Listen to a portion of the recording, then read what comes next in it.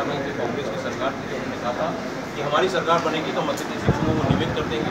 हम रथ लेके निकले हैं, कल से हमारे आंदोलन की आगाज़ है और अगर भारतीय जनता पार्टी ने हमारा साथ नहीं दिया तो 2018 के इंतज़ार में हम सत्ताईस सीटों पर मध्य प्रदेश का शिक्षक, अतिथि शिक्षक, उनको हराने का काम करेगा और उनकी सरकार नहीं बनेगा। जो अतिथि की बात करेगा, वही मध्य प्रदेश में राज करेगा। आपका कहना था कि दो हज़ार अठारह में जो विधानसभा चुनाव हुए वो आपकी वजह से हार निश्चित तौर से आप पता करिए कि 2018 में अंबेडकर पार्क में एक लाख अतिथि शिक्षकों का आंदोलन था, वहाँ पे अतिथि शिक्षकों ने शपथ किया था, पूरे मध्य प्रदेश में अतिथि शिक्षकों ने घूम घूम के दुष्प्रचार किया था और भारतीय जनता पार्टी को हराने का काम किया था, कांग्रेस के साथ था, क्योंकि कांग्रेस ने अपने वचन पत्र में हमें शामिल किया था, इसीलिए हम कांग्रेस के साथ खड़े थे और कांग्रेस की सरकार बनाए थे। लेकिन आज हम भारतीय जनता पार्टी से उम्मीद कर रहे हैं उनकी सरकार है। चौदह महीने कांग्रेस की सरकार थी, उन्होंने हमें कुछ नहीं दिया।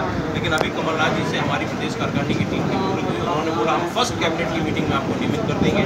ये हम आपको वचन देते हैं। हम अभी पहले भारतीय जनता पार्टी को मौका दे रहे हैं। अगर उन्होंने अभी इस बीच में हमें नियमित कर दिया तो ठीक है, नहीं तो में उनका विरोध करेंगे और उनको हराने का जब सिंधिया जी के कहने सिंधिया जी से सहज सत्ता की सहज चाटने के लिए वो सरकार उन्होंने गिराने का काम किया था और जैसे ही सरकार गिरा दी, उन्होंने अतिथि शिक्षकों के लिए सड़कों पे उतरेंगे, ये वचन दिया था, ये कहा था और सरकार गिराई थी। लेकिन आज वो अतिथि शिक्षकों की बात नहीं कर रहे हैं, सत्ता की सहज चाट रहे हैं, लेकिन अतिथि शिक्षकों के हित के बारे में कहीं कोई विचार नहीं कर रहे। गुना में हमने उनको रोका, उनसे पूछा, लेकिन वो हमारी बात सुनने को तैयार नहीं है। इससे सिद्ध होता है कि सत्ता की सहज ही चाटना उनका मकसद था, ना कि अतिथि। ने देखिए कांग्रेस के पास समय कम था चौदह महीने का समय था सरकार गिरा दी गई है। अगर अभी जैसा कि हमें कमलनाथ जी ने बुला के हमारी हमारी प्रदेश कार्यकारिणी से उनसे कहा है कि हमें एक मौका और दीजिए इस उपचुनाव को हमें जिताइए और वापस सरकार में बैठाइए तो हम निश्चित तौर से आपको फ़र्स्ट कैबिनेट की मीटिंग में वापस नियमित कर देंगे। हम वचन देते हैं आपको और हम वचन पत्र में पहली मांग आपकी रखेंगे। तो निश्चित तौर से हमको एक बार एक एक मौका देने का हक है।